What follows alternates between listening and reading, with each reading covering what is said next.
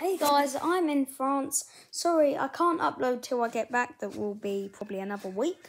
But I've got PSG top, Arsenal top, and all cool stuff, kits. And I now like football, so I'll do football videos. And bye guys, see you tomorrow.